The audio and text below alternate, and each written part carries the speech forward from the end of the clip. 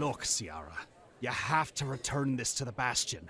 The Piglin King is vengeful, and it won't be long before you're hunted down. No, no. I worked hard to take that.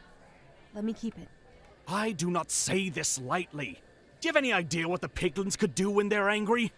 I'm not returning the loot. It's the safest choice you have! It's either that or you get killed as soon as you walk out of here. It's not worth risking your life for riches you won't even be able to spend in your lifetime. I know what I'm doing. Don't be threatened. The Piglin King is one of the most powerful figures in the Nether. Rumors say he's under the protection of the Nether Princess. You don't know who you're crossing. I'm done. You're not some hardened thief who can slip away safe from consequences. You're not a one-man army, Ciara.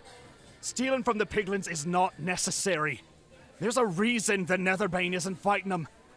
Please drop the act, Ciara. Just admit you're in danger. Who are you talking to right now? Who is it? You see, I am one of the best assassins in the Netherbane, and I live up to my name. I could easily wipe out their species if I want to. I have my own reasons for doing this, but it's not something your cowardice can grasp.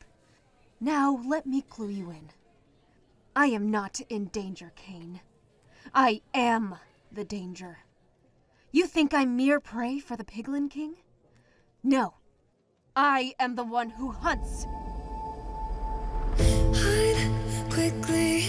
There's a ghost around the corner and it knows me. Stay inside, find a light. There's a monster in the darkness next to me.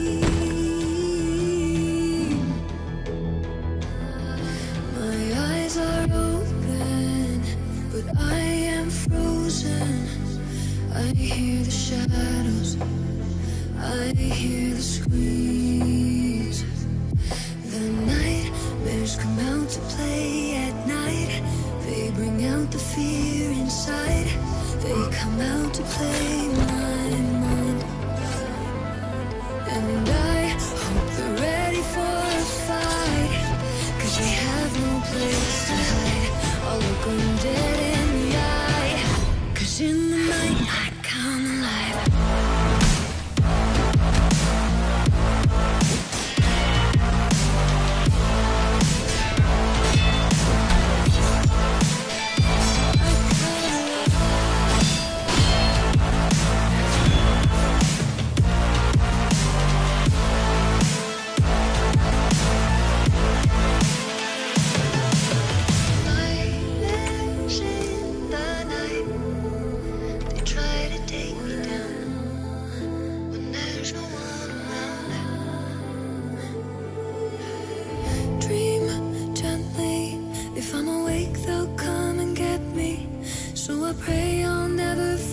Myself alone.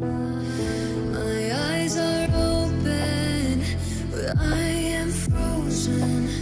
I hear the shadows. I hear the screams.